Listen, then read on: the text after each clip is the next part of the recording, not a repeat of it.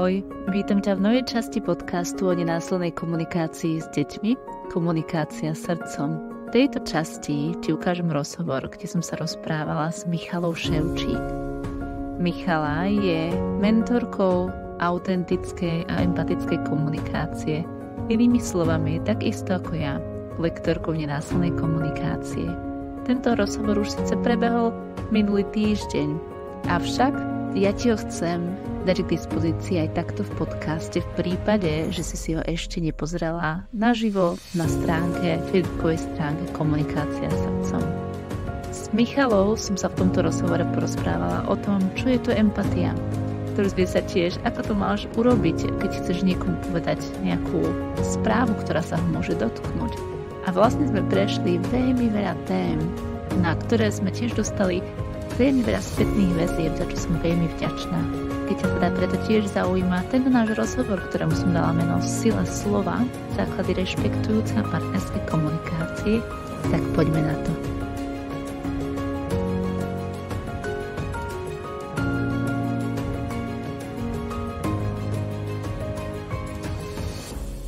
Ja mám tu ako hostce dnes Michal Ševčík a Miška je, tak ako aj ja, je lektorka nenásilnej komunikácie je to lektorka, tak ako ona sama hovorí, také empatické a autentické komunikácie, to je všetko synonymum toho istého, takže je to úplne jedno, ako to nazveme.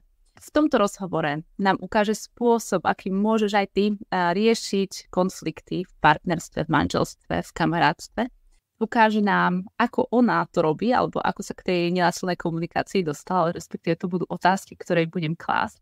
Takže Miške, ja ti veľmi pekne ďakujem a vítam ťa v tomto vysielaní. Ďakujem, že si prijala pozvanie na tento rozhovor. Mohla by si sa nám prosím dopredstaviť, pokiaľ som niečo ešte zabudal povedať, alebo pokiaľ ty cítiš, že niečo dôležité dodať k tomu. A môžeš nám rovno povedať, ako si sa vôbec ty dostala k tejto téme nenásilnej komunikácie, lebo pokiaľ viem, tak to máš tak ako ja, že si povolaním uh, úplne iným smerom sa vydala teraz, ako si vyštudovala, alebo čím sa zaoberala predtým. Takže prosím, povedz nám niečo ešte viac o sebe, a povedz nám, ako si sa vôbec dostala k tejto téme eh, komunikácie.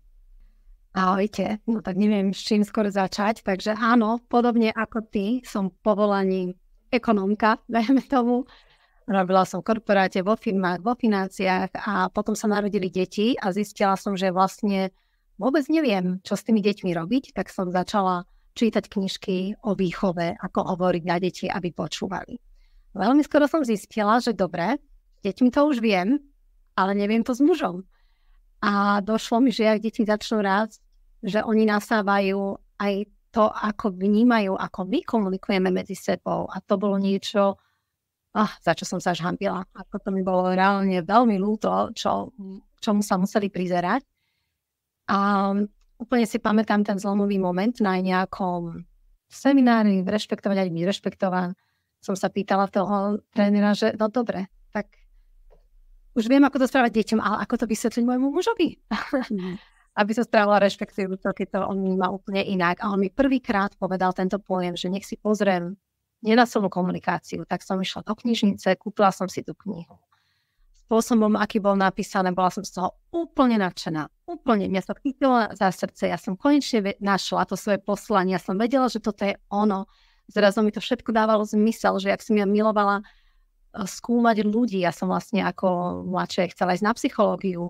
Vždycky som sledovala aj v rôznych kultúrach, jak sme žili, že aké tam majú hodnoty, jak fungujú, ako rozmýšľajú. A zároveň som niekde v hlave mala aj takéto analytické, logické myslenie a tá nenasilná komunikácia je veľmi pre mňa krok za krokom analytická. Je to také, jak hľadanie spoločného menovateľa pre zlomky, úplne som sa v tom našla, že aj v tých konfliktoch vlastne hľadáme tých nejakých spoločných menovateľov v podobe potrieb. Takže úplne som bola nadšená. Ale čítala som tú knihu a furt som si vravela, no, s niekým to funguje, ale teda s niektorými ľuďmi to asi nebude fungovať. A som mala aj také momenty, že oh, s tým mojim mužom to asi nikdy nezvládnem. A to mám... A potom som si nejaký moment povedala, že tak idem to robiť ako keby poctivo. Lenže z tej knižky som to nedokázala úplne uchopiť. To je ako naozaj učiť sa cudzí jazyk z knižky, keď naokolo nikto ním nehovorí.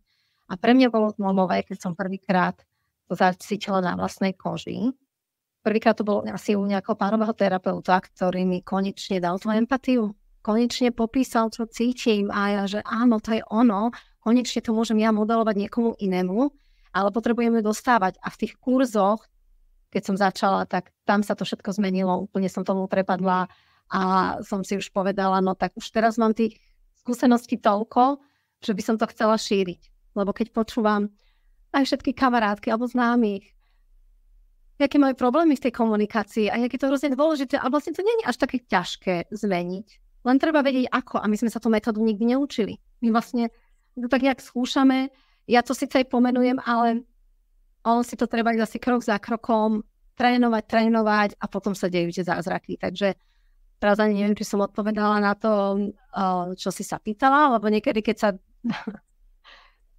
dostanem do takého nadšenia alebo vášne, tak trošku stratím niť, takže kľudne ma usmerní, keď už odpovedám. Ale, ale áno, odpovedala a, a práve veľmi mnou rezonuje to, jak si mala, jak aj ty hovoríš, že si mala ten aha moment, keď si prvýkrát zažila, že ti niekto venoval empatiu, lebo to je väčšinou taký ten um, prvý moment uh, ľudí, kedy zistia, keď to, aj u mňa to tak bolo, keď vlastne prvýkrát som tiež na kurze zistila, páni, tak toto je tá empatia, ale nie len ako prečítať si o tom z knihy, ale skutočne zažiť toho niektoho druhého človeka, ktorý tam je so svojou celou osobnosťou, s tým, ako drží ten priestor pre tú tvoju vec a ty vlastne jediné, čo musíš robiť, sa poddať tomu momentu a nechať to, čo v tebe je, do toho priestoru, ktorý tá druhá osoba drží, nechať to zo seba alebo cez seba plynúť. A vlastne tento zážitok, to podľa mňa raz zistí alebo raz okúsi, tak podľa mňa to je jednoznačne začiatok zmeny.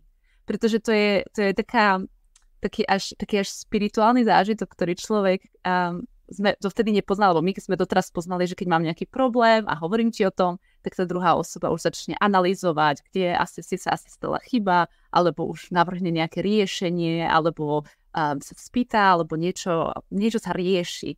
Ale nie je to tá empatia. A to nehovorím, že toto všetko je zlé a empatia je dobré, ale nie je to často to, čo sa druhá osoba v tom momente potrebuje. A vlastne keď človek teraz okúsi túto tú chuť empatie, tak um, úplne súzním s tým, čo si hovorila, že človek chce toho viac zažívať u seba doma. Áno, je to také návykové úplne a dokonca aj v tomto momente vždycky ma to láka, že keď môžem dať empatiu tomu druhému človeku, nielen keď je v ťažkej chvíli, ale takto, keď akože zreflektovať niečo, a sa to tak niekedy vo mňa aj bije, že či teraz dávať tú empatiu a modelovať ju, alebo zase byť um, tej expresii a rozprávať o tom, čo je vo mne momentálne živé. Mm-hmm. No. Ale áno, tá empatia to bolo fakt, ako si povedala, taký spirituálny zážitok. Mm-hmm. A dlho som chcela, aby mi muž dával, alebo iný. A vravím, toto není empatia, daj mi ju. A vlastne nevedela som, akým spôsobom od nikoho ju získavať. Mm-hmm. Lebo som si tak nejak myslela, však ja si to naštudujem, čo to je, ostatní to tiež majú nejak vedieť, ale podľa mňa to nemáme moc odkiaľ vedieť. Všetci sme naučení, že empatia znamená asi, že poviem, um, áno, ja ťa chápem, ale.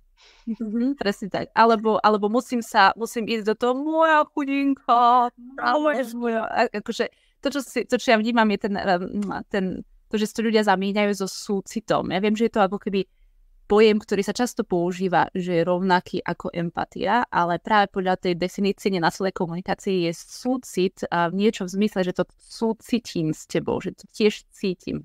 Ešte empatia nemusí jednoznačne znamenať, že musím presne to cítiť, čo ty, ale stačí, že idem vedľa teba a necháš ma kráčať tou cestou, ktorú ty bez toho, aby som to cítiť musela. Takže ja tam vnímam aj, aj takúto malú nuancu toho, rozdielu, ale samozrejme je to len otázka definície, je to otázka teórie, kto si čo pod tým predstavuje. Ale podľa tej nenásilnej komunikácie je to z môjho pohľadu nie je tak, že musíš to cítiť, to je ako si ľudia predstavujú. Nemusíš precíťovať na svojom tele, ale len ako vnímaš, že ten druhý to pociťuje a nemusíš to cítiť ty tiež. Nemusím, nemusím trpieť s tým druhým človekom, aby si mu dokázala dať empatiu. Presne to.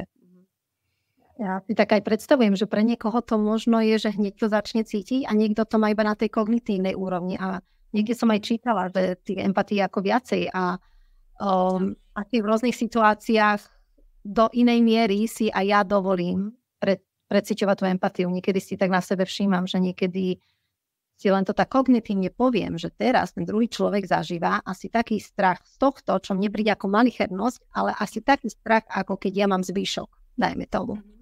Alebo nejakého verejného prezentovania a u neho je to treba strach z toho, že iba povedať nie.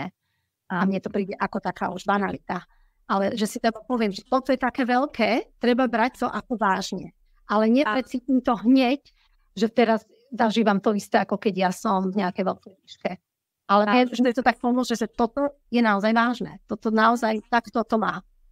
To je presne ten, tá kognitívna empatia, ktorú si presne ti hovorila, že sú viacej druhov empatie a to je vlastne tá kognitívna, že ja mám nejakú skúsenosť z mojej minulosti, ktorej som zažívala niečo podobné alebo cítila som sa podobne, preto sa dokážem žiť do tej situácie, ako sa pravdepodobne ten človek cíti. Áno, to je jeden, jeden druh. A to, možno si teraz uh, všíma poslucháč, ako sa náš rozhovor plyne úplne iným smerom, ale aj napriek tomu sa by to... E, ja, ja to mám rada preto, že vlastne Myška je... Um, má srdcovú záležitosť tú istú, čo ja. A my sme si schválne dali pol hodinu pred týmto stretnutím, um, že sa porozprávame, že sa trošku vyrozprávame pred tým, ako začneme rozprávať k téme. A zároveň sme potom zistili, že máme technický problém a tu nešiel mikrofón a tam, nešiel, tam nešlo um, audio. A tak sme celú tú polhodinku strávili tým, že sme to tu technicky ladili a preto možno vnímaš, že sme obe eh, máme nenaplnenú potrebu tohto, tohto nášho vzájomného, vzájomnej výmeny našich postojov alebo takej tej empatie. To znamená, že práve práve si aj to cením, pretože veľmi často sa vystáva s hosťom, že takto si dáme tú polhodinku pred tým a vlastne už preto tá pol hodinka už sa stane taká, taká zaujímavá, že mi je až ľúto, že, že nevezmem do toho rozhovoru aj iných ľudí. A práve na, napriek tomu, že sme mali tie technické problémy, že nestihli pokecať, a tak povediac predtým, tak sa teším, že to tak vyšlo, pretože sa mi páči, keď tak rozhovor plíne. Takže aj tá empatia, a napriek tomu, že to nie je téma dnešného rozhovoru, tak si myslím, že možno niek- niekoho aj bude zaujímať. Ale téma dnešného rozhovoru bola sila slova. Takže čo si ty myslíš, um, Míška, má, má si, slovo vôbec silu? Súhlasíš s týmto tvrdením? Obrovskú. Aj keď ja, jak je ten výrok od Laos, ktorý som si chcela napísať a nenapísala, ale niečo v tom zmysle, že tá naša myšlienka tvorí to, ako hovoríme a to, ako hovoríme, je potom tá realita, ako žijeme, ale ešte tam je niečo medzi tým. Ale je tam tá myšlienka, to slovo a tá realita, ktorú žijeme. Takže áno, to slovo reálne vplýva na to, čo vytvoríme. Ale za tými slovami sú ešte tie myšlienky a na základe tých myšlienok my volíme tie slova. A to sa mi aj strašne páči na tej nenasilnej komunikácii, že ona sa veľmi sústredí práve z akého miesta tie slova vychádzajú. Aspoň ja to tak vnímam. Um, takže úplne si to uvedomujem, odkedy viem vedomo vyberať slova, aby som tvorila a neničila a tak reálne zažívam niečo iné. Reálne tam mám úplne inú odozvu. A nie je to len to, čo hovorím, ale to, čo hovorím sebe. Že to, ako ja vlastne dokážem pomenovať si sama v sebe, čo sa deje. Že sa nesústredím na situácie, ktoré ma dostávajú dosť takej bezmoci, keď súdim iných, dajme tomu. Na to sme naučení, že oh, on je sebec, arogantný, stále myslí iba na seba, ako vôbec sa to môže urobiť, to je nehorázne a, a zostávame v tom vonkajšom súdení a vlastne takéto veci, keď si hovorím, tak vo mne len takú bezmocnosť uh, len vytvárajú, alebo predtým, keď som ešte to nevedela premieňať. Ale keď si tieto súdy už viem vďaka tej nenasilnej komunikácii premeniť na iné slova, na to, že pomenujem si, čo sa vo mne deje, čo by som potrebovala, tak mi to dáva oveľa väčšiu silu silu s tým niečo urobiť, že aha, tak toto je potreby. Ja potrebujem, aby uh, som mala väčšiu pozornosť. A ako si môžem naplniť? Ako môžem poprosiť od toho druhého, toho druhého, aby mi ju dal? Uh, my vieme, že aj tá nenasilná komunikácia, ona aj má nejaké také pravidlá, ktoré zvyšujú tú šancu, že ten druhý je s nami napojený a aj uh, lepšie pochopiť tú našu prozbu a aj sa cíti viacej nadšený nám ju naplniť a zároveň sa učíme aj ako prijímať, keď povie, že nie, čo nám tiež dáva takú väčšiu moc. Takže tomto si uvedomujem, že tá sila slov je veľká. Veľmi to vnímam vo svojom živote, nielen to, čo poviem, ale ako si jej preložím. Uh, to, čo v sebe si hovorím. Ako to, čo, napríklad, jak si viem preložiť, že ja som neschopná a na to, že o čom vlastne túžim, čo je to, čo chcem a sústrediť sa na to, nezostanem v tej paralýze. Mm-hmm. Tak to by som možno tak povedala. Ja tam vnímam vlastne presne aj to si hovorila, že tam že na začiatku je tá myšlienka, potom je to slovo, potom je tam tá um, pocit, akcia, tak vlastne ja vnímam, že vlastne aj to slovo samo o sebe, že to je, vlastne nie je to lineárne, že by to malo, uh, že je myšlienka a následne nasleduje slovo, ale je to taký kruh, ktorý, mm-hmm. uh, ktorý každé slovo, ktoré aj poviem, alebo si myslím a zároveň ovplyvní náš pocit a nás následne ďalšiu myšlienku. Takže vlastne nie je to len to, že zmeňme, zmeňme slova, alebo zmeňme myslenie, zmeňme sa slova, ale aj zmeňme, proste um, pracujeme, to sa mi páči práve na následnej komunikácii, že následná komunikácia pracuje na všetkých tých úrovniach. Už na tom postoji, s ktorým hovorím to slovo, s tou myšlienkou, ako sa pozerám, interpretujem, alebo skutočne robím pozorovanie, vyslove alebo cieľene vedome vyberáme slova a tie slova následne pôsobia na to, čo si myslím a tak ďalej to pokračuje. To znamená, že je to, nie je to lineárne, nie je to, že končí to slovom, ale aj presne ako hovoríš, každé to slovo, ktoré si ja hovorím alebo ktoré poviem druhej osobe, zase pokračuje ten uh, kolobeh od začiatku. Um, ako si myslíš, že tieto princípy alebo nenásilná komunikácia ako si myslíš, že práve môžu ovplyvniť partnerstvo? Máš, máš aj ty zo svojho života skúsenosť, že niečo nenásilná komunikácia u teba zmenilo, alebo zmenila, alebo um, ako to vnímaš ty? No, to vie veľmi ovplyvniť partnerstvo. Ja reálne mám na svoje skúsenosť, v svojom prípade skúsenosť, že keby som nezmenila tú komunikáciu, tak my s partnerom nie sme spolu a nevieme si prísť na. Tam by to reálne išlo do veľkých útokov jeden na druhého a vytvorilo by sa tam veľmi veľa škody. Až teraz, keď si tak predstavím, je mi to veľmi smutno, že naozaj to mohlo, mohla byť realita, ktorá by ovplyvnila náš život, aj či už by sme boli spolu alebo nie, aj, aj tie deti, ktoré by už, či už by vyrastali v tej domácnosti alebo nie, reálne uh, som veľmi vďačná, že som tú zmenu urobila a naozaj je, je to v tej komunikácii bola fakt veľká sila. Teraz ma inak asi tiež odputalo práve tá predstava, že keby som to neurobila, ako by to partnerstvo dopadlo. Hneď sa mi tam otvorila tá, tá predstava. A tak mi prosím pripomeň otázku, lebo ma to trochu vzalo. Ak, aký si myslíš, že môže urobiť následná komunikácia rozdiel, ako keď sa partneri z ňu začnú používať? No, tak chcem tuto povedať, že napríklad v našom prípade som to bola iba ja, ktorá sa robila ten, tú zmenu. Naozaj iba ja. Môj muž je presne prototyp človeka, ktorý nič seba rozvojové čítať nebude, na žiadny kurz nepôjde, ale veci na veci príde sám, keď mu dávajú zmysel, keď ich cíti úprimne a on ich nejak nasaje. Možno ako dieťa, dajme tomu, by som to povedala. A že sa to nemusí nejak učiť, proste nejak to sám si to nejak vyhodnotí, čo mu dáva zmysel.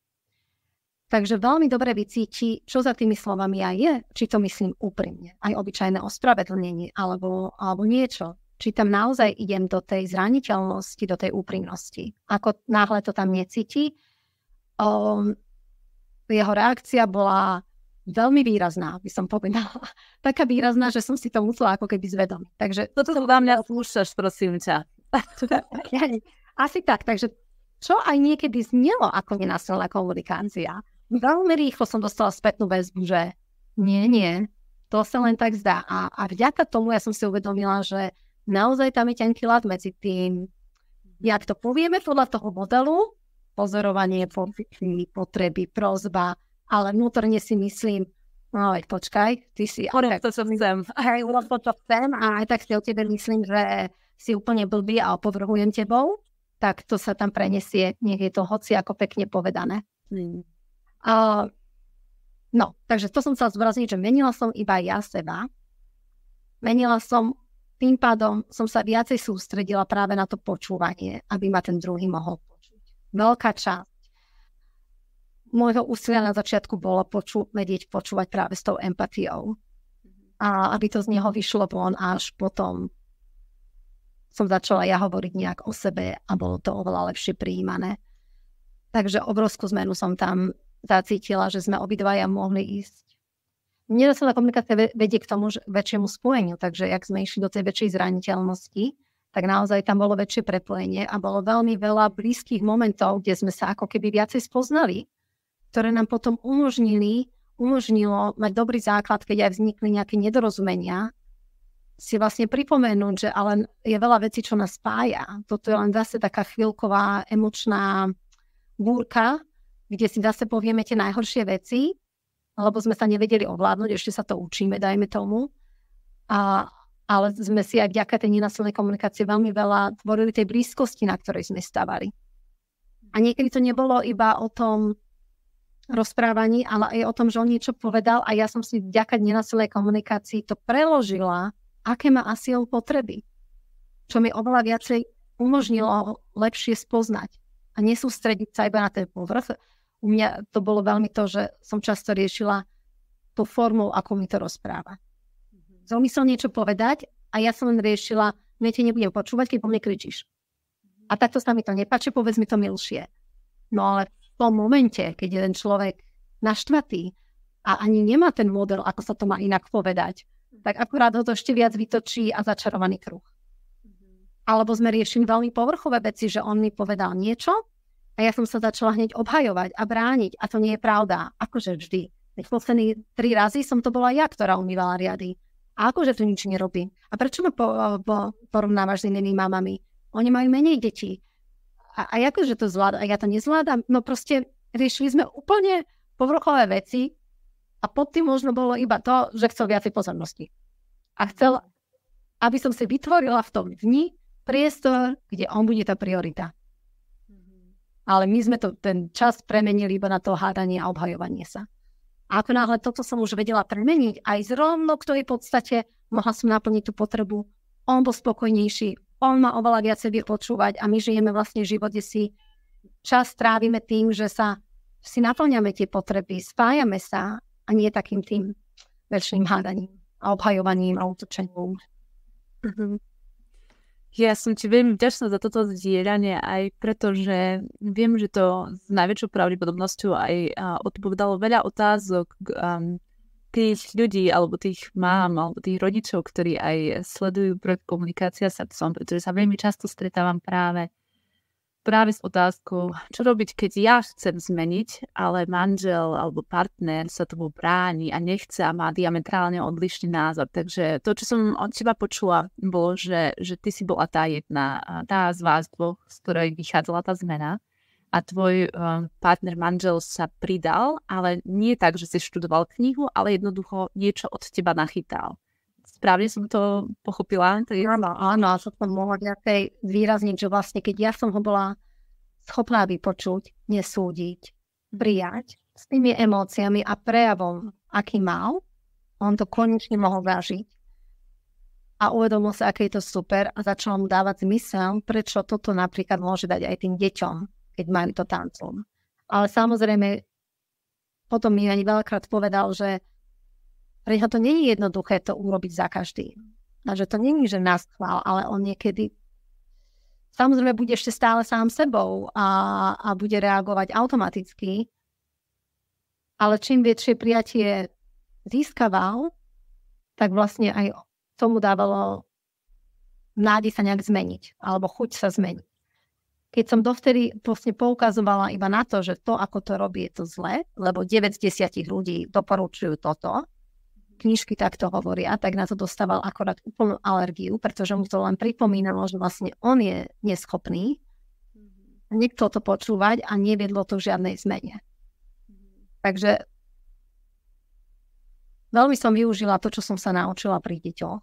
Preto aj vnímam, že tá cesta od, je pre niekoho lepšia ísť od detí naučiť sa tie zručnosti pri deťoch a dať ich na dospelých a niekto práve na, naopak pôjde o dospelých deťom. Pri deťoch sa učíme, že vlastne im máme uznať tie pocity, príjmať, že oni nejak niečo potrebujú a trpia a uvedomiť si, že tí dospelí to vlastne tiež, ne, že sú svojím spôsobom tiež ako deti. My všetci sa učíme, my sme to tiež od, nemali úplne odkiaľ vedieť. Sme z rôznych zázemí a, a br- mať ten súcit, ale ja teda, teda vnímam ten súcit asi nie ako lútosť, ale ako úctu k tomu, mm-hmm. jak to prežíva. Mm-hmm.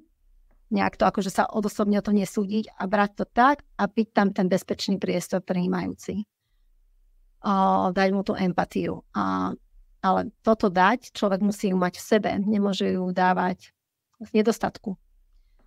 Takže som si musela najprv naučiť aj spôsoby, ako si ju vlastne budem dostávať od iných ľudí. Ľudí s kurzom som to väčšinou mala. Asi ty to tak máš kurze, že mám mať tie empathy buddies, nie? Aby sme to človek nasávali, dostávali niekde inde, aj keď dobre, možno niektorí majú šťastie, že majú aj toho partnera, tak o ktorých eh, na to má ten priestor a potom som mu ju tu dávala. Takže on to tak ako keby nasával. Vlastne myslím si, že treba byť tou inšpiráciou, tou zmenou, ktorú chceme vidieť a tí ľudia to nasajú. Presne, ak sa učia deti, ten jazyk, tak my, ja nebudem hovoriť, toto zle vyslovuješ, v britskej angličtine sa to povie takto, ale nikdy mu to vlastne nepovie to britskou angličtinou. Že im to vlastne má modelovať to, čo by som chcela, aby on nejak nasal a mať trpezlivosť s ním, pretože rovnako ako pre ňo je to ťažké, je to ťažké aj pre mňa. Hmm. To je vlastne, eh, to, čo od teba počujem, je práve to, že, že my často ako rodičia um, si myslíme, že deti ideme naučiť rešpektu, ideme ich naučiť um, tomu, ako sa spolu majú rozprávať tým, že ich nutíme sa ospravedlniť alebo im nutíme um, povedať niečo milým hlasom práve v momente, keď sú naštvaní.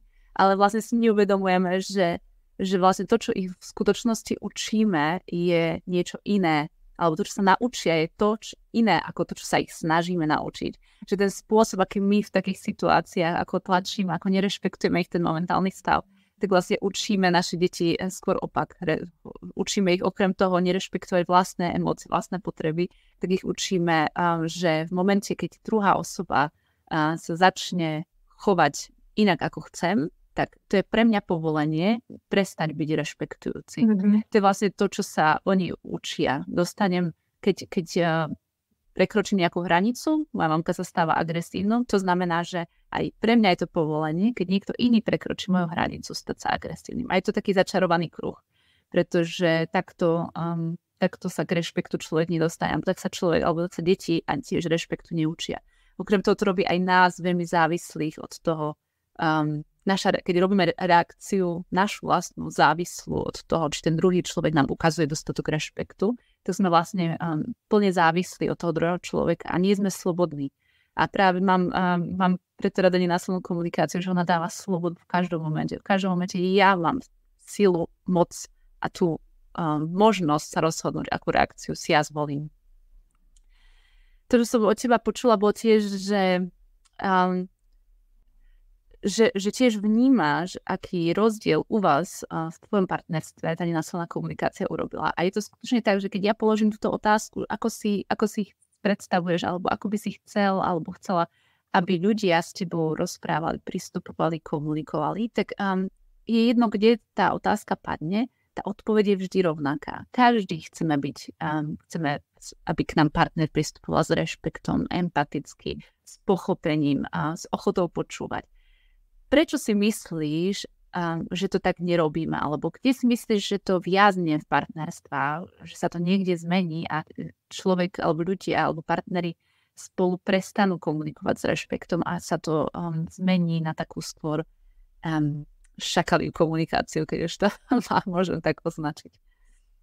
No, si povedala, že prestanú komunikovať s rešpektom, ale z mojich skúseností je, že väčšinou to je už od začiatku spôsob komunikácie, ktorý nie je moc rešpektujúci, ale možno, že tie prvé dva roky to nejak nevnímame alebo to necítime tak silno, že je to skôr taký naučený spôsob, ktorý sa ani neuvedomujeme, že tomu druhému vytvárame nejaké nepríjemné pocity.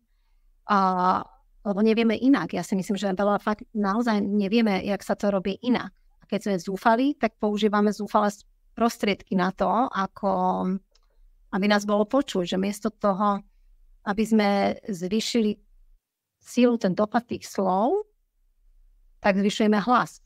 Alebo pritláčame na to, sme asi aj z detstva tak naučení, že keď spôsobím pocit viny, hamby v tom druhom, tak to tým ukážem, že má si ma všimnúť, že takto nejak trpím ja, že ber na mňa ohľad. Že ja keď toto druhom spôsobím, tak ten tom momente, nie sme naučení pracovať vôbec s pocitom viny a hamby. Takže automatická reakcia je, že toto nechcem zažívať a idem sa rýchlo brániť. Je ťažké robiť vtedy vedomé reakcie, keď niekto povie niečo, čo nie je pravda, alebo povie niečo, napríklad to, že ma porovná s niekým iným a dá mi vedieť, že som úplne neschopná a niečo také, tak v takých chvíľach je podľa mňa veľmi náročné tým pocitom, čo to v nás vyvolá, pracovať, uvedomiť si ho a reagovať vedomé, kľudne, nebrať si to osobne. A potom je to taký začarovaný kruh. Ja myslím, že my sme Zle, nie že zle. No to, ako vnímame hambu a vinu, nám podľa mňa moc neslúži. Snažíme sa to ako keby necítiť, ale alebo nevieme, čo s tým, ale keď tá vina hamba sa dá nám cítiť tak, že mi to len ukazuje, OK, teraz ten človek napríklad robí niečo, čo mi je jasné, že chce zbudiť vo mne ten pocit viny hamby, lebo asi na niečom veľmi mu záleží nebudem to brať osobne, ale počúvať, OK, čo to je. Ale no neviem, asi to chce tréning a mne veľmi pomohlo proste to trénovať. Mať stále viacej a viacej iných skúseností, ako reagovať v takýchto situáciách, aby potom aj prirodzenejšie prichádzali v živote. Takže to, čo počujem od teba, je, že vlastne tým ľuďom chýbajú nástroje, keď to môžem no, takto Áno, Nástroje a tréning. A tre, aby, to, aby si to zažili, aby tomu dôvera. Podľa mňa aj tá dôvera v tých nástrojoch. Mm-hmm. Ja, ja veľmi často počúvam, no jasné, nenasilná komunikácia, to funguje, ale nie na všetkých. To v mojom prípade fungovať nebude, pretože to je komplikovaná osoba. A, a zároveň taká nevôľa byť milá, alebo nenasilná komunikácia podľa mňa zbudzuje ten dojem, že budem milá niekomu, kto si to kvázi nezaslúži. Mm-hmm. Alebo že je na, on má drsné spôsoby, tak na ňo treba drsne. Tak s, s tým sa tak stretávam. Takže je tam asi aj tá nedôvera, že by to takto mohlo fungovať, pretože nemáme to odžité. Mhm. Ja sa presne stretávam s tým istým v súvislosti s deťmi, že áno, môže to fungovať na určité spektrum detí, ktoré nie sú nejakým spôsobom problematické alebo nemajú, um, nemajú nejaké určité správanie, ale ja mám dieťa a na neho to nefunguje, na neho funguje len keď zvýšim hlas. To znamená, že, že po, počúvam tú istú obmenu ako ty, um, takže to, čo počujem, že, že sa nestotožňuješ s týmto rozdeľovaním, na koho by to malo fungovať v úvodzovkách a na koho by to nemalo fungovať. A čo je vlastne to fungovať? To je, čo je to fungovať? Presne tak. Čo znamená, že by mala nenásilná komunikácia fungovať. Pretože nenásilná komunikácia nie je o tom, nie je manipulačná technika, nie je o tom, mm. že ju použijeme preto, aby tá druhá osoba urobila to, čo chceme. To znamená, že keď toto je cieľ, tak um, to nie je úplne um, ten najlepší spôsob alebo najlepšia metóda. Sú oveľa efektívnejšie um, manipulačné techniky, ktoré to dokážu lepšie. Ale tak dajme tomu, že toto je možno nástroj, ako inšpirujeme druhého, aby niečo urobil, ale ten dôvod, pre ktorý to urobí, je ten, že naozaj chce. Mhm. Ešte tie iné techniky sú možno také, že ten človek to urobí zo strachu. Mhm. A, alebo no, z toho pocitu viny hamby, hej, že len nech je kľud, alebo len aby som sa necítila menej cenie, tak to teda urobím, aby som nepochybovala o sebe. No, no áno, takže Není to nástroj, ako príjmuť niekoho. Skôr ako pochopiť seba, pochopiť druhého, spojiť sa a cez to spojenie veľmi často oveľa viacej vzniká tá spolupráca. Hmm, presne tak. Najsto, riešenie spolu, ale z toho miesta poďme spolu ho hľadať, nie uh, rob to, čo chcem ja. Uh-huh. Tie nástroje, alebo to, čo si spomenula práve, ja som preto zo srdca vďačná aj tomu Rosenbergovi, ktorý túto metódu a vôbec prvý definoval, alebo prvý tak priniesol na svet, pretože ona sa už rôzne obmienia, alebo rôzne sa vyvíja, aj nie je to úplne v tej rídzej podobe, ako to Rosenberg možno priniesol na, na svet, aj tie nové um, smery um, prichádzajú a um, to, čo ja, to, čo ja vnímam, že práve tie nástroje, že si ľudia myslia, že je to tak, že OK, prečítam si tú knihu, tak si to možno mala ty, alebo aj ja som si myslela, že si prečítam tú knihu, tým pádom sa zistím, aká je tá stavba vety podľa nenásilnej komunikácie a tým pádom um, sú vyriešené všetky problémy. A potom je presne tá, že tá stavba vety potom vyzerá tak, ako si ty svoj alebo aj u mňa to tak bolo. Uh, vidím na stole pohár, som nahnevaná, lebo potrebujem poriadok a to už, to už tá druhá osoba vypína a čo vlastne ďalej nás skúšaš a toto si vieš, nemôžeš nechať, čo úplne rozumiem. No ale um, čo som sa tým chcela povedať, že to, to znamená, že napriek tomu, že je to len, áno, je to nástroj, um, vnímaš tam aj potrebu toho, um, z nich si mi položí úplne sugestívne tú otázku, že um, čo by si teda doporučila tým, ktorých, ktorých práve táto metóda um, zaujala, alebo kto si myslí, OK, čo sú to za nástroje, ešte som o tom nepočula, ako by si im doporučovala získať informácie, alebo čo by si im doporučovala, ako sa môžu viac um, dozvedieť o nenásilnej komunikácii, nejaké knihy alebo zdroje, čo by si im ty doporučila? No mám to pri sebe aj knihy, ktoré by som doporučila, ale vždycky váham, že či sú to také knihy, ktoré pre úplne lajkov, či ich zájmu, či nie sú príliš veľké. Neviem ešte o žiadnej takej knižke, ktorá by bola malá stručná.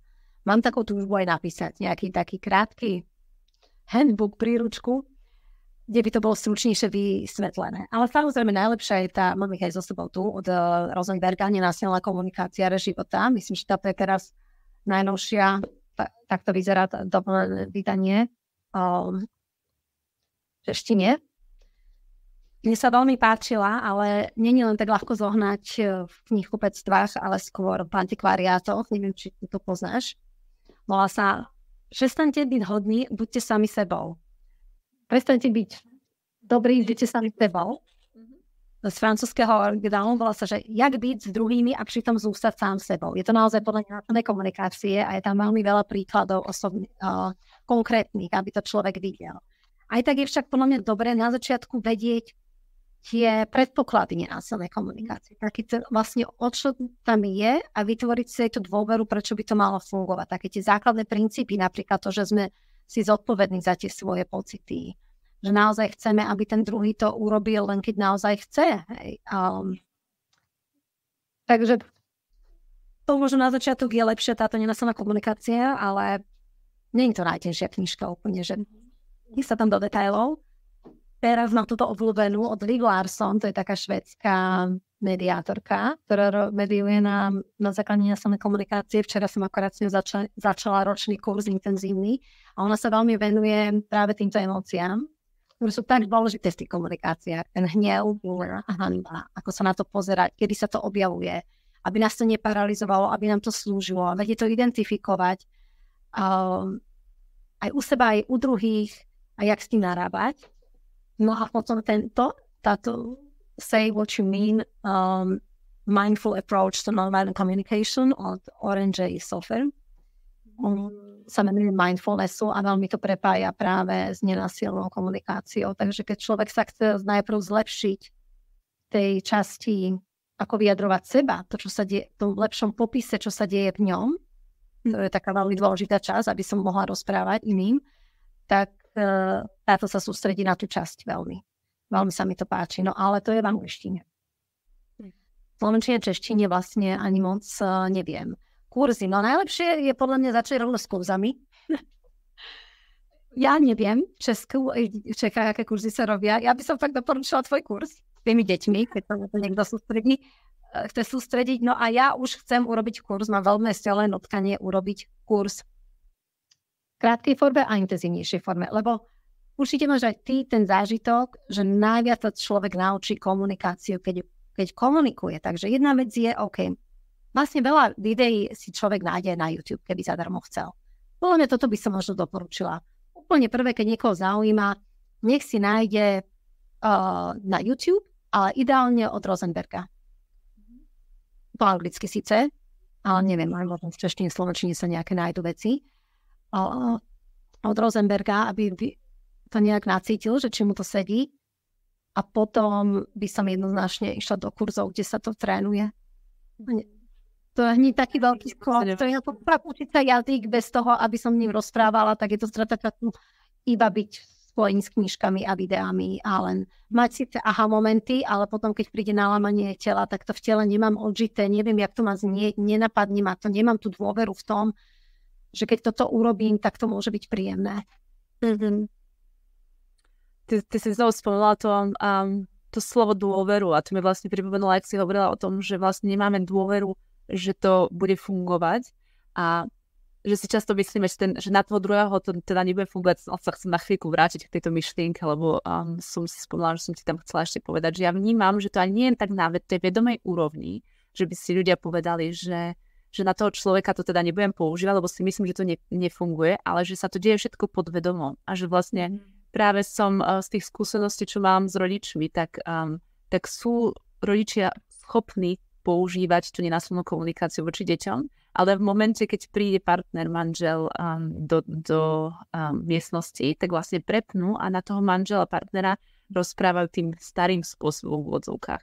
A vlastne to je vlastne presne uh, ukazovateľ toho, že vlastne my sme my si myslíme, že sme doteraz mali nastavenú nejakú formu komunikácie a uh, sme zvyknutí na to, že napríklad pri určitej um, pri určitom bode nášho, našeho emocionálneho stavu musíme zvýšiť hlas, aby ten druhý vôbec porozumel, čo chceme, tak vlastne nemáme dôveru, že keď to poviem inak, bez toho zvýšenia hlasu, že tá informácia vôbec dôjde k tomu druhému človeku. To znamená, my už a, a priori vychádzame z toho, že s touto osobou, ale podvedomo, nerobíme to na vedomej úrovni, že s touto osobou to nemá zmysel, pretože aj tak ma nebude počúvať. A to je vlastne um, len ako čistá, um, um, čisto sa vrátiť späť na, ten, na, na začiatok tej slučky myšlienkovej, do ktorej som sa dostala, že vlastne to, tým, že to používame, to, tým, že uvidíme ten, um, ten efekt tej komunikácie, vďaka kurzom, vďaka tomu, tým cvičeniam, tak vlastne uvidíme, že, že nemusíme zvyšovať hlas na to, aby sme boli vypočutí. A to nám dodá tú dôveru v to, že tá správa, ktorú chceme povedať, dôjde k tej druhej osobe aj tak. Takže to na Margo toho. Ďakujem ti za tie tipy, ktoré si, ktoré si nám tu s nami dielala. Um, aký projekt máš ty, alebo ako ty inšpiruješ uh, ľudí k tejto zmene komunikácie? Ja by som aj tak chcela nadviazať na, ja sa tomu ale nadviazať na to, čo že nemáme tú dôveru, lebo aj si povieme, že však minule som ho aj chcela vypočuť. Aj som uznala jeho pocity. A aj tak ma nechápe. Aj tak ma nevypočul. Aj som nemusela kričať, ale nič sa nedialo. Že tam je veľmi veľa nuansov, ktoré do toho vstupujú. Preto aj som nazvala, aj ja som nazvala svoj kurz aj ty. A ne, ne, um, náhodne umenie. Mm-hmm. Že je to umenie vedieť, čo všetko ako použiť, aby tam došlo k tomu napojeniu mm-hmm. a tej úprimnosti. Takže preto podľa mňa veľa ľudí nemá ani možno veľa tých dobrých skúseností zažitých v tele, aby tomu naozaj dôverovali. Ja som si to musela najprv vyskúšať takých tých inkubátorov v tom bezpečnom prostredí na kurzo. Veľakrát. Potom som to skúšala s mužom. Niekedy to vyšlo, niekedy nie.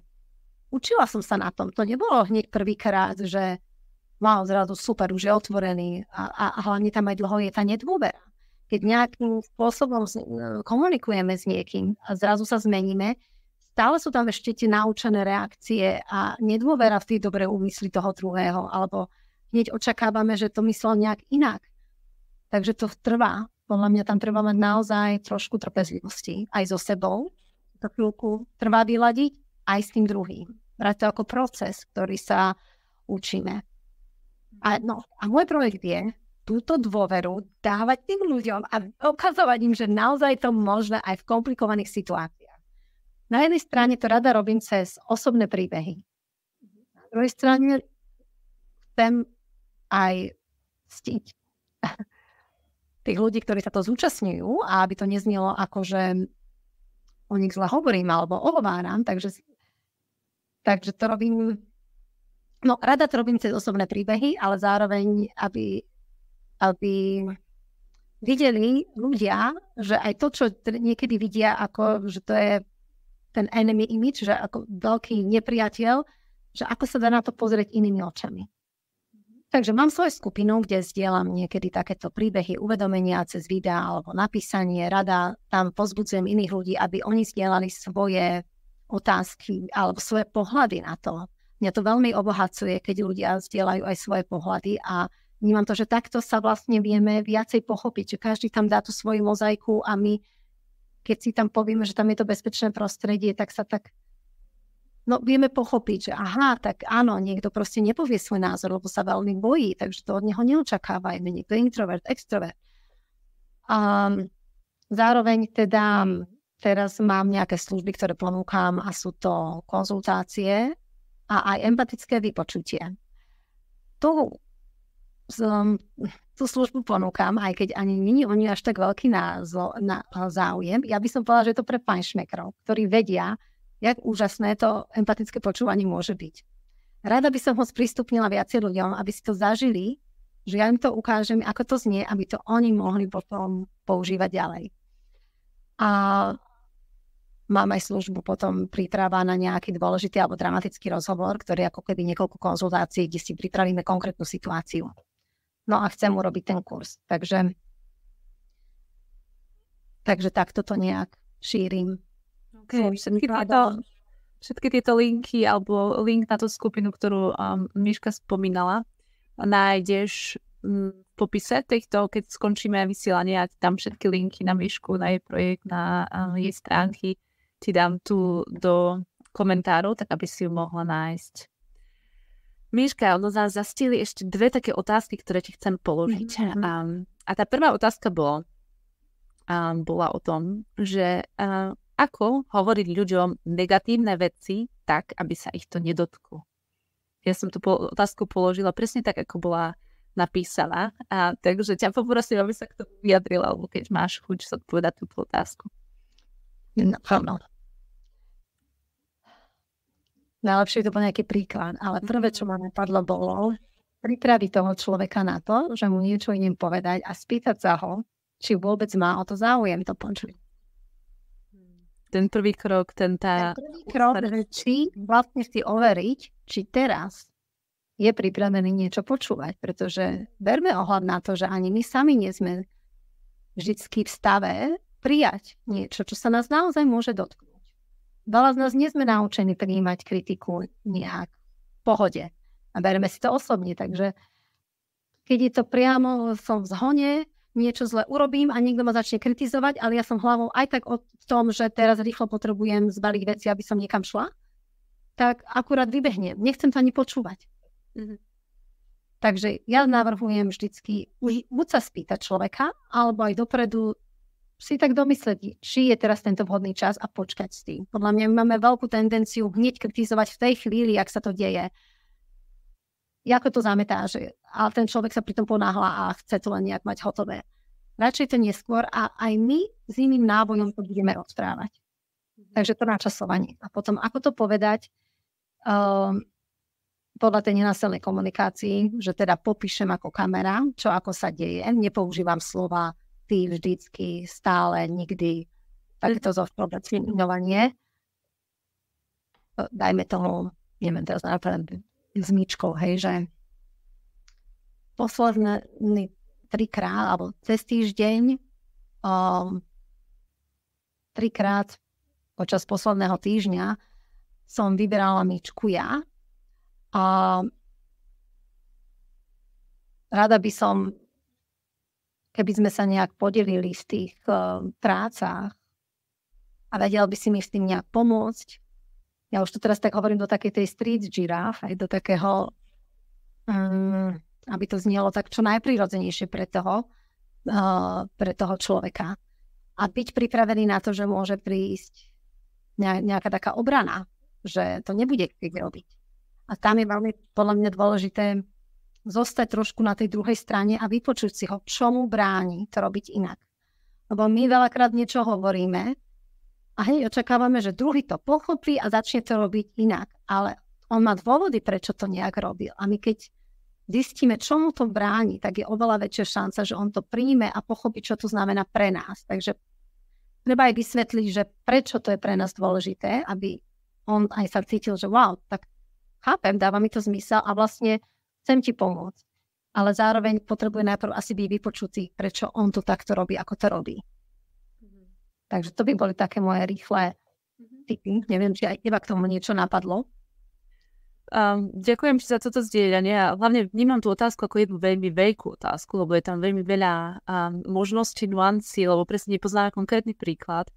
To, čo ja ešte vnímam v tej otázke, je to, že, um, že vlastne už tá otázka je položená tak, ako, ako hovoriť ľuďom negatívne veci, aby sa ich to nedotklo. Vlastne už tá sama otázka o sebe implikuje, že sa tá daná osoba bude cítiť zodpovedná za pocity tej druhej osobe, keď jej niečo zdeli. Takže už len to položenie tej otázky hovorí o tom, že nepreberám zodpovednosť za pocity svoje, ale preberám zodpovednosť za pocity toho druhého človeka. To ale neznamená, že mám prísť k druhej osobe a povedať, počúvaj, dnes vyzeráš fakt hrozne, lebo to nie je, um, to nie je podstata tej nenásilnej komunikácie. Takže pokiaľ sa, uh, práve niekto začal vrtať, dúfam, že to nie je úplne počuť, to veľmi, veľmi nesprávny, nedobrý timing, ale pokračujem.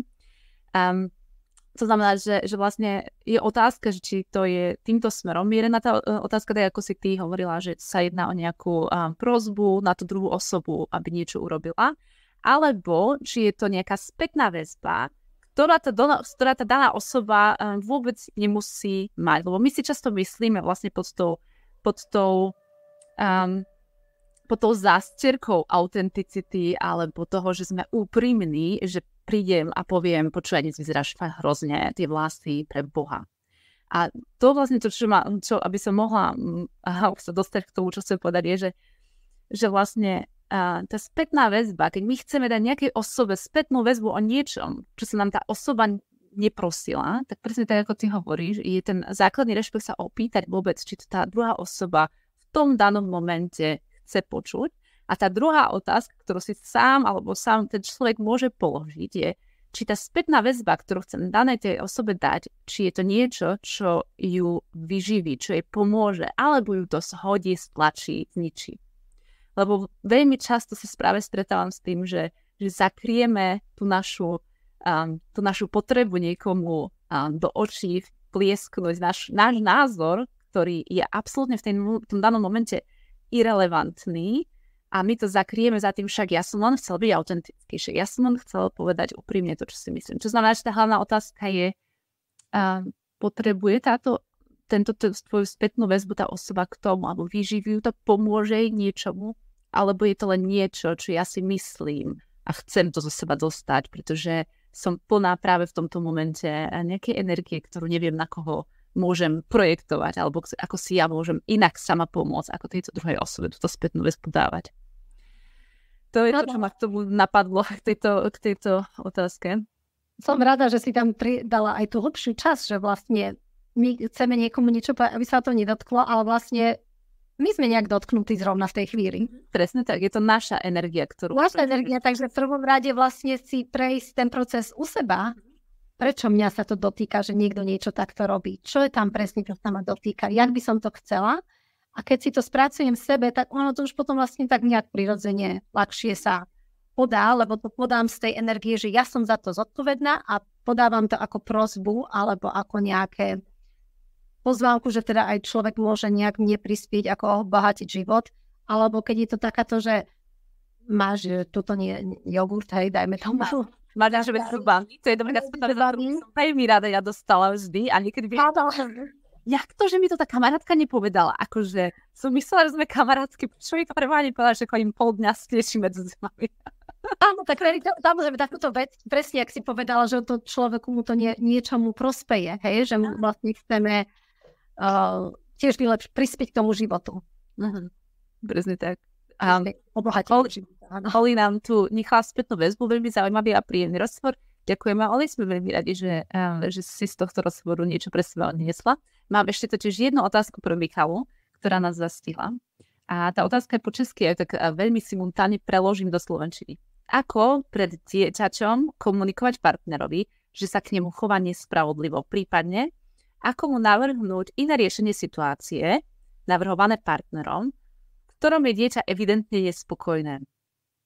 A ako navrhnúť tomu partnerovi iné riešenie a ako to, v ktorom je to dieťa evidentne nespokojné.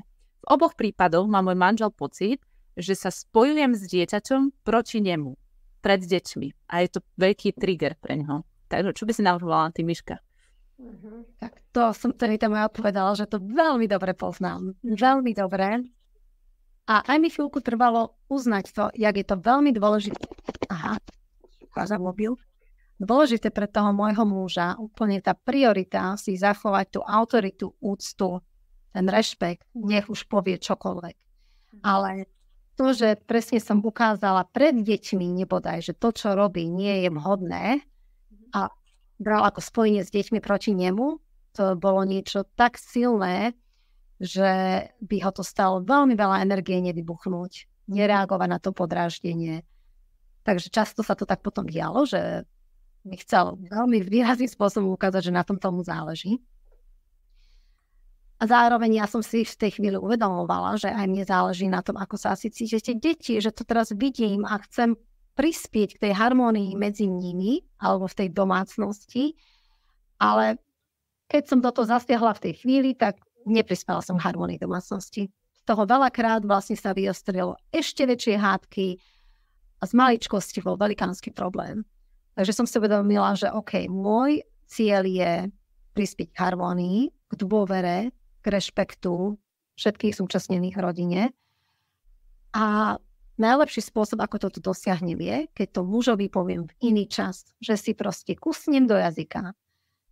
Že tie deti momentálne, aj keď ich napríklad povie slova, ktoré som si ja mohla povedať, že to im ničí sebavedomie. Alebo budú sa báť potom niekedy v budúcnosti ozvať. Tak som si proste povedala, nie, oni to zvládnu, ja im dôverujem, že je to OK, keď zažijú aj takéto skúsenosti, vybrali si nás za rodičov, ideme v tom spolu.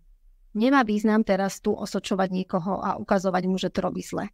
Ale potom, v kľudnej chvíľke, také príjemnej, som povedala, keď je muž nájdený, vyšportovaný a tak ďalej, proste sa porozprávať s ním, na čo mi záleží a spolu cez dialog dojsť na to, ako by sme to mohli robiť inak. Čo je pre ňoho dôležité, počuť jeho názor, čo by jemu pomohlo v tej chvíli, aby som urobila, ako by si to prijal. A, a, a povedať mu aj, čo je pre mňa tam dôležité. A hľadať to, urobiť ten dialog vlastne chvíľke. A potom prídu tie situácie a budeme to riešiť tak, ako sme sa predtým dohodli. A zároveň máme strpenie, že na staré kolená sa to dlhšie budeme učiť, tie automatické reakcie. Ale mne sa toto osvedčilo oveľa viacej, ako v tej chvíli proste zasahovať. Ale myslím si, že záleží aj od e, partnerov. Ja si viem predstaviť, že niektorí partnery sú takí, že im to iba naznačím v tej hádke a nemusia mať takú prudkú reakciu na to. Ja mám skúsenosti s tým, že zrovna toto je chvíľa, keď je to fakt naozaj obrovský trigger a tá reakcia je veľmi prudká a je pre neho veľmi ťažké uh, zostať v kľude. Takže preto doporučujem to robiť in, inak a s úctou a naozaj viesť ten dialog. Nie, že tu si ťa teraz idem sadnúť uh, posadiť ako učiteľka a povedať ti, že toto sa mi nepačilo, jak si sa správal a okamžite sa zmeň, ale v tom, že veľmi túžim po tej harmónii a mám aj obavy, že ako to bude vplývať na ten vzor. Chcela by som to inak a zároveň chcem, aby sme si tu vytvárali aj, chcem, aby tie dieťa, deti rešpektovali, je to v mojom záujme. A ma to mrzí, uh, keď, um, keď to tak nie je.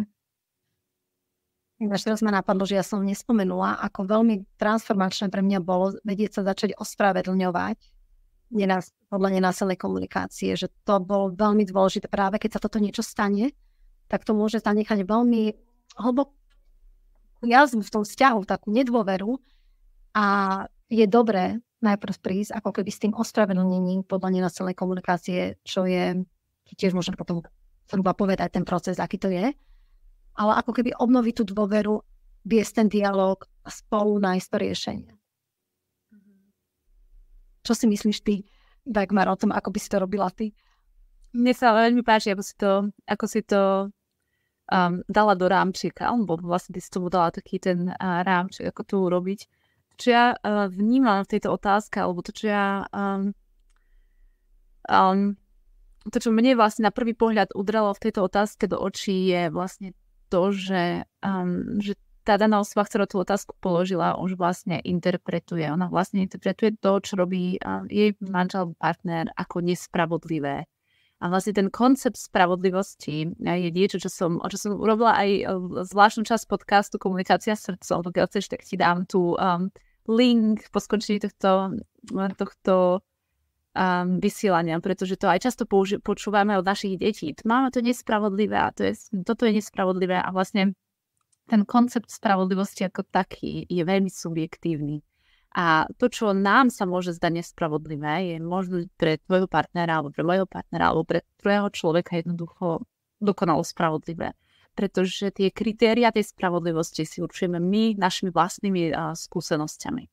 To znamená, že to prvé skôr, čo by som ja ako impuls nechala tej osobe, ktorá položila túto otázku, je um, zamyslieť sa, či je to skutočne spravodlivosť to, čo má na tej danej situácii štve. A potom presne tak, ako si ty hovoril, alebo skôr, skôr sa odosobniť z, to, z toho konceptu, toho abstraktného konceptu spravodlivosti a pozrieť sa na tie potreby, ktoré pod tým ležia. Čo, o čo mi skutočne ide? Neskrývať sa za nespravodlivosť, ale najväčšou pravdepodobnosťou to, to, čo tam cítim, je, je ochrana toho dieťaťa. Pred čím sa snažím ochrániť moje dieťa pred partnerom? A tam je vlastne dôležitá tá otázka, alebo tú, tú hranicu, kedy my zasahujeme, má každý veľmi individuálnu. Um, a nie je to dané, nie je to, nie je to jasná línia, ktorá povie, počúvaj, v momente, keď tvoj partner povie alebo urobí toto, v tom momente musíš zasiahnuť.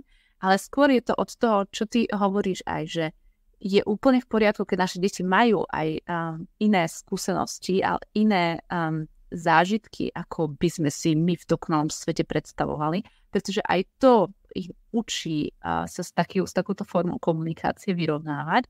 A zároveň je úplne prirodzené, že každá z nás má niekde nejakú hranicu, kedy povie, toto už nie.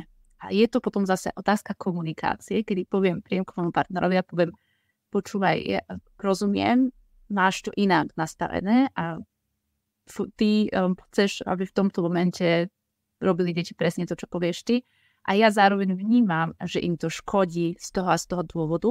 A to je práve ten dôvod, prečo ja vždy, keď vidím, že prídeš k ním a treba im dávaš na zadok alebo ich nutíš následným si čistiť zuby, v tom momente ja zasiahnem. Chcem, aby si to vedel. A to neznamená, že to je koniec dialógu.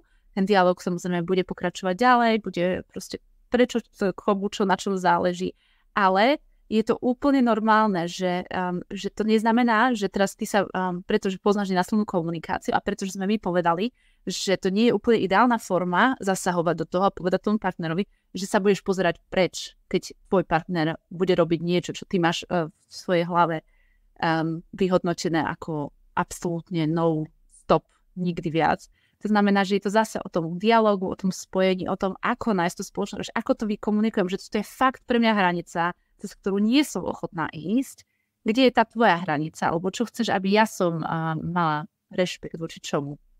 To znamená, že to je to, um, ja som toto tiež veľmi um, dopodrobná, viac dopodrobná rozberala presne tieto situácie práve v mini kurze, ktorý práve skončil.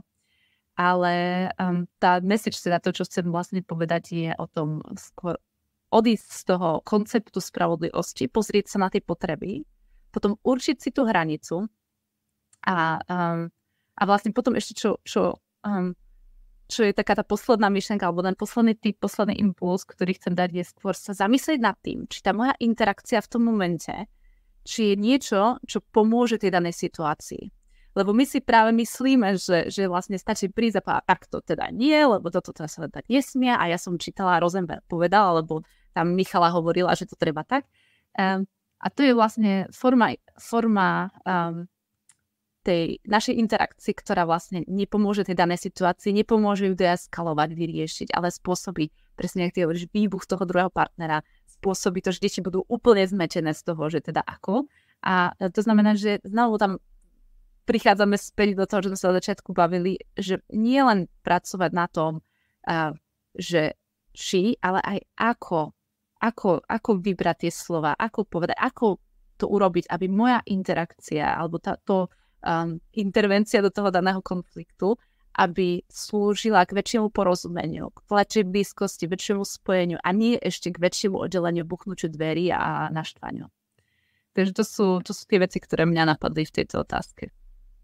To dobre počúvalo. Mňa ešte potom napadlo, že možno zmiením, že my sme v tom dialogu nakoniec došli, že riešenie pre nás je. A som veľmi rada, že vlastne sme na to došli spoločne. Je to úplne iné, keď človek si to vytvorí v tom dialógu sám, sám na to príde, ako keď to jeden povie, že takto to má byť. A to riešenie bolo, že keď vlastne vybuchneme jeden alebo druhý, alebo už ideme nátlakom, alebo niečo, a ten druhý si to všimne, tak nám nepomáha, keď jeden povie, prosím ťa, ukludni sa ty, čo robíš. Ale nežne nám povie, som tu, idem ti kryť záda, kvázi, som s tebou na jednej lodi, lebo to je to, čo môj pot- muž potreboval cítiť v tej dobe, že v tej chvíli, že sme spolu na jednej lodi a že ja mu tam pomôžem. Keď chceš, choď sa nejak ukludniť, ja to prevezmem. Prevezmem to, ja viem, o čo ti ide, urobím to nejakým spôsobom, ale nepodriem tvoju autoritu a hm. neukážem deťom, že týmto spôsobom sa to nemá robiť. A zároveň, keď sa nám to aj stalo takto, uh, a v tom dialogu sme zistili, že nám prišlo ľúto, že sme takýto vzor ukazovali pre deťmi, mm. tak sme často mali rozhovory s deťmi, potom v kľude, kde sme im povedali, že nám je to ľúto, že sme sa takto správali. A toto nechceme modelovať a nechceme ani aj by to oni vnímali, že takto sa máme správať. Mm-hmm. Takže bereme to naozaj tak ako keby ľudský. Robíme chyby, pomáhame si. No, a to, to je napríklad spôsob, ktorý nám pomáha vytvoriť to bezpečie, zároveň byť ten autentický a, a byť na ten pocit, že sme na tej jednej lodi. Ale som rada, že si zdôraznila to, že to nezna... Ja veľakrát, áno, asi to malo zdôrazňujem, že dať to pochopenie, ale zároveň povedať tie požiadavky. Áno, keď je niečo cez hranu, tak to vyjadriť. Mhm. Ale keď, ako si ty spomenula, keď to tom dialogu to vlastne úplne efektívnejšie vieme adresovať mm-hmm. ako vyšším hlasom alebo vyhrážkami. Ešte raz to povieš, že odchádzam. A v živote tie deti neuvidíš. Čo si tu ja mám zapísať, že čo na nich hovoríš?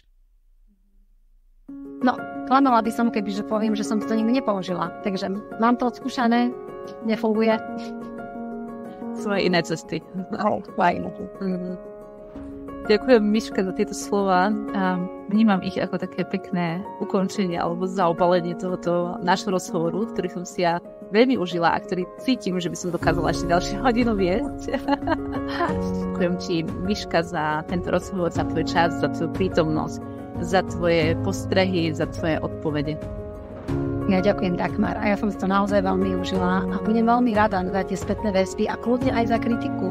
Aj aj negatívne alebo na nejaké pochybnosti. Ja mám rada, keď ľudia niečo aj pochybňujú, že či naozaj to tak funguje a vlastne sa tak môžeme obohacovať navzájom, posúvať ďalej, pozerať sa na tie situácie nejak inak. Tak ďakujem, veľmi to bolo pre mňa tiež prínosné ťa počúvať. Tak, toto bol rozhovor s Michalou Ševčík. Ja dúfam, že si pre seba z tohto rozhovoru odniesol alebo odniesla niečo, čo ťa možno tiež inšpiruje do tvojho života s tvojim partnerom pokiaľ je to tak, tak budem veľmi rada, keď nám o tom dáš vedieť. A to tak, že zanecháš tomuto podcastu na Spotify alebo na iTunes recenziu. Tiež budem veľmi vďačná, keď nás navštíviš na stránke Komunikácia srdcom a keď ťa uvidím v, vo Facebookovej skupine Komunikácia srdcom alebo na Instagrame. Budem sa znovu na teba tešiť o dva týždne. Tvoja Dagmar.